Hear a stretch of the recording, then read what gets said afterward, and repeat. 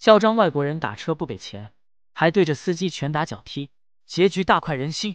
兄弟，你坐车你不掏钱，你凭什么？你在中国自行车上你撒野，你凭什么？对呀，啊，你凭什么？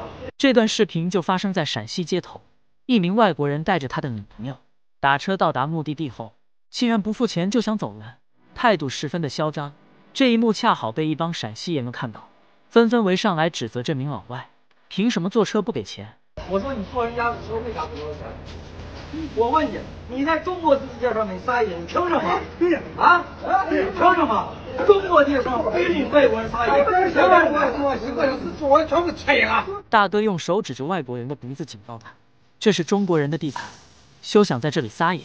外国男子起初并不在意，还对大哥亮起了肌肉。这一举动成功把围观的其他人逗笑，可这吓唬谁呢？同行的中国女友见状，赶紧拿起手机电话摇人。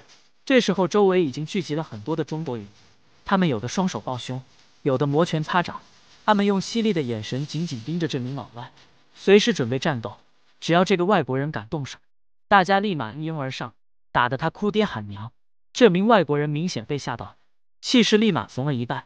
视频一出，立马在网上引发热议，大家都为这帮有血性的陕西爷们点赞。来我们中国人的地盘，就要遵守我们这个规矩。想坐霸王车？先问问我们的拳头。大家在谴责这名外国人的同时，也对他的中国女友感到十分痛心。你的外国男友坐车不给钱，你不帮忙劝说，反倒拉着他一起逃单，害怕外国男友挨揍，还想打电话摇人，真是丢我们中国人的脸。无独有偶，在成都也发生了类似的事情，一名外国人打车不给钱，还对司机拳打脚踢，结果悲剧了。哎，哎那，I pay sixty。哎，还没缺呢。这是发生在出租车上的一幕。当天凌晨两点，杨师傅在酒吧一条街接到了一名外国人。当时对方喝了点酒，等到了目的地后，老外不给钱就想走，司机死死拽着他的衣角，不料这名外国人竟然将衣服一脱就要跑。司机见状赶紧下车追了上去，结果被对方狠狠殴打。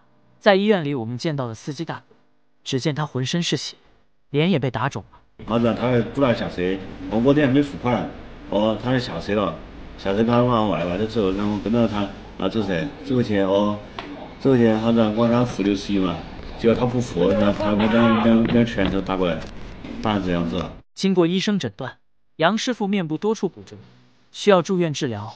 事件发生后，成都警方很快展开行动，将这名外国人抓捕归案。这时候他知道害怕了，赶紧托朋友去跟杨师傅讲情。你们是代表 Michael 的家人过来，差不多这个意思。